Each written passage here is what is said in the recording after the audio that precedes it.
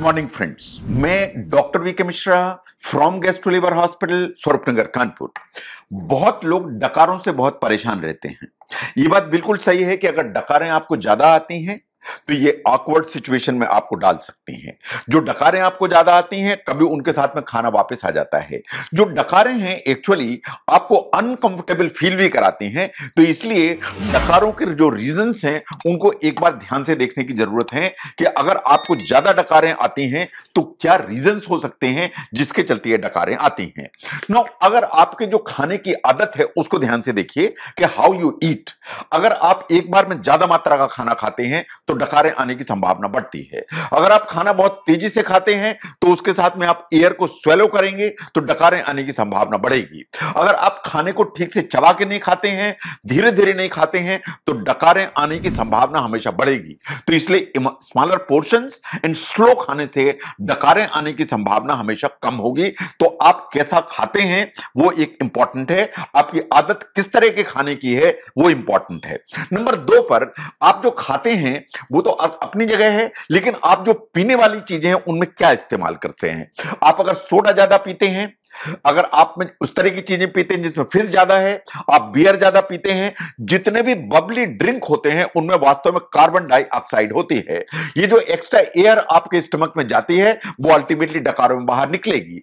Even जो hard drinks हैं, जैसे आप सिप करते हैं, उनके साथ में आप एयर स्वेलो करते हैं इन पॉसिबिलिटी इस चीज़ की है कि आपको डकारें ज़्यादा आएँगी। तो इसलिए जो बेवरेजेस हैं जिनमें कार्बन डाइऑक्साइड ज़्यादा होती है या जिनमें बबली ड्रिंक्स होते हैं बबल्स होते हैं, उनसे डकारें आने की संभावना बढ़ेगी। That's number two now number three जो भी आप खाते हैं, उनको ध्यान से देखिए। जैसे आप प्याज ज़्यादा खाते हैं, आप टमाटर ज़्यादा खाते हैं या सिट्रस फ्रूट्स ज़्यादा खाते हैं, ये सब एसिडिक नेचर के होते हैं। आपके खाने की थैली में एसिड ज़्यादा बनेगा। एसिड ज़्यादा बनेगा तो डकारें आएँगी। ऐसे ही आप स्पाइसी फ़ूड ज़्यादा लेते हैं, जिसमें मिर्च ज़्यादा है, मूली है ब्लैक पेपर है, ये सब एसिड की मात्रा को बढ़ाते हैं इन अल्टीमेटली आपको डकारें आने की संभावना बढ़ेगी।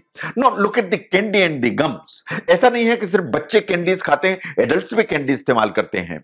चुइंगम इस्तेमाल करते हैं। जब आप चुइंगम इस्तेमाल करते हैं तो आप बहुत सारी एयर को स्वेलो करते हैं जो आपके पेट में जाती है।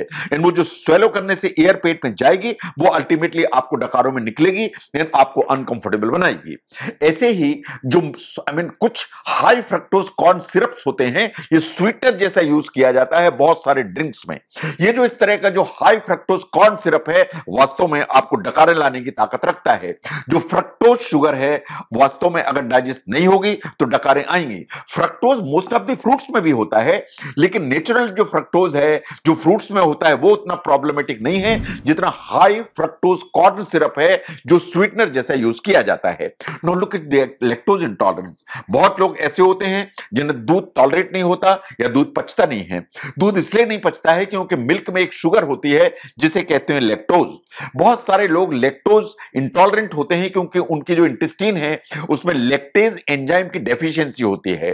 जो लेक्टोज है, अगर आपने लिया इन आपको डेफिशिएंसी है तो वास्तव में जो लेक्टोज शुगर है, वो फर्मेंट होगी आपकी इंटेस्टीन में, आपके स्टमक में। अगर ऐसा है तो आपको डकारें आएँगी। आपको हैवीनेस होगी एंड आपको पेन या मरोड़ा भी महसूस हो सकता है।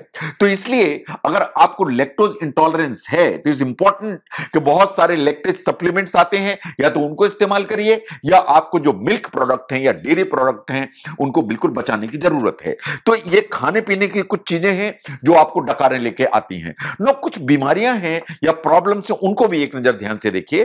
देर आर सर्टिन इन्फेक्शन जो खाने की थैली में होते हैं, जो आपको डकारें ला सकते हैं। एक हेलिकोबैक्टर पाइलोरी नाम का infection is the most common जो खाने की थैली में होता है।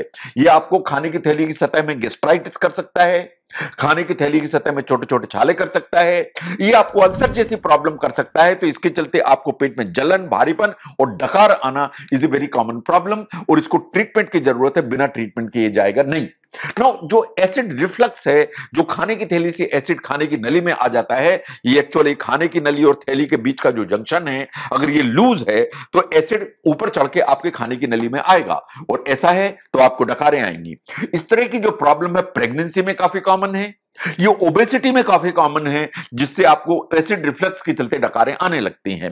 Now look at hiatus hernia जो हमारी खाने की नली है, खाने की थैली, इसके बीच में एक वाल्व होता है। अगर ये वाल्व लूज हुआ तो कभी कभी खाने की थैली का जो पोर्शन है, वो स्लाइड होकर खाने की नली या चेस्ट में आने लगता है। अगर इस तरह का पुश होकर ऊपर आता है, इसे कहते हैं हाइटस हर्निया हाइटस हर्निया होगा तो एसिड रिफ्लक्स होगा।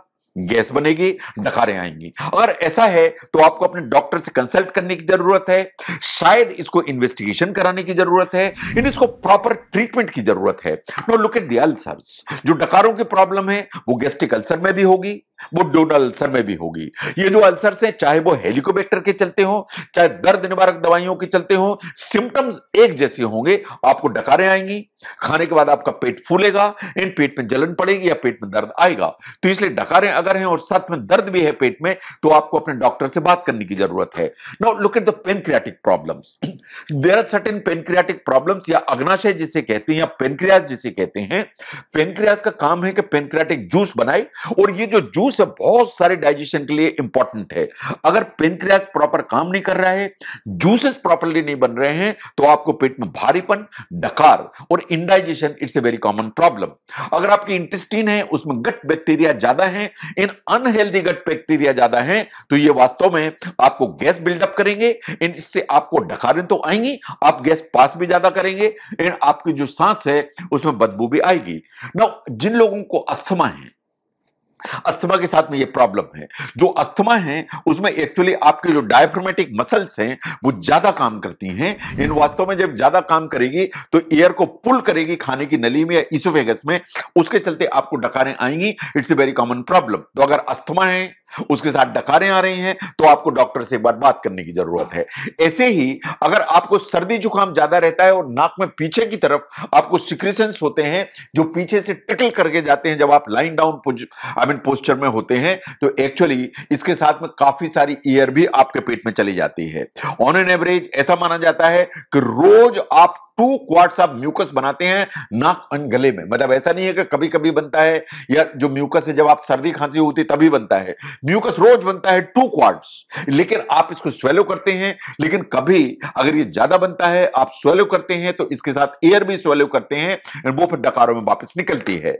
लुक एट स्ट्रेस अगर एंजाइटी ज़्यादा है चाहे वो डिप्रेशन को लीड कर रही हो चाहे नर्वसनेस को तो आप अल्टीमेटली जो एयर है उसको स्वेलो करते हैं या गल्प करते हैं। और एक्चुअली जैसे ही आप गल्प करते हैं तो फिर वो डकारों में बाहर निकलती है। ये आपकी हैबिट का हो सकती हो, हिस्सा हो सकती है।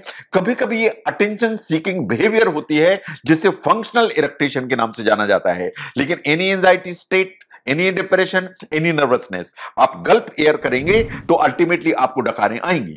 तो अगर हम ध्यान से देखें कि जो डकारें आती हैं, वो आपकी डाइट आपकी लाइफस्टाइल उसका हिस्सा हो सकती है। लेकिन डकारें कभी कभी मेडिकल प्रॉब्लम का हिस्सा हो सकती हैं एसिड का हिस्सा हो सकती है, कुछ इंफेक्शन का हिस्सा हो सकती हैं। तो अगर आपको लगता है कि डकारें ज़्यादा हैं, इन लाइफस्टाइल को ठीक करने से उनमें फ़र्क पड़ रहा है there is nothing like that मतलब ये बिल्कुल ठीक है। लेकिन अगर आपको लगता है कि आपकी डकारें लाइफस्टाइल से ठीक नहीं हो रही हैं, इन बाकी भी सिम्टम्स आ रहे हैं तो आपको अपने डॉक्टर से बात करने की ज़रूरत है कि कहीं कोई मेडिकल प्रॉब्लम तो नहीं है इनसाइड दी स्टमक जिसको करेक्ट करने की ज़रूरत है।